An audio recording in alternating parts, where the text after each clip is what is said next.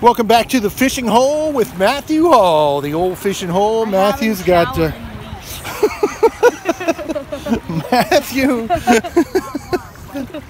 In the family tradition, when we go to the lake, nobody showers. We don't even bring shower stuff because it's time to go fishing.